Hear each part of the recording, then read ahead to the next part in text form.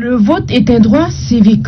Pour choisir son candidat le 11 avril prochain, chaque Tadjé a l'obligation de retirer sa carte d'électeur. C'est l'unique pièce qui permet aux citoyens de faire prévaloir son droit de participation à la gestion de la chose publique.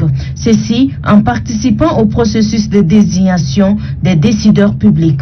C'est pourquoi la Commission électorale nationale indépendante CENI a mis à la disposition des citoyens qui se sont enroulés des cartes électeurs. Un acte citoyen simple mais aussi très indispensable pour chaque Tchadien en âge de voter.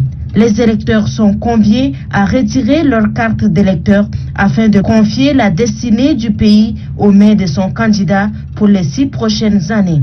Autrement dit, il est bien beau de battre campagne, mais il est également primordial de retirer sa carte d'électeur pour exercer le jour J son devoir civique.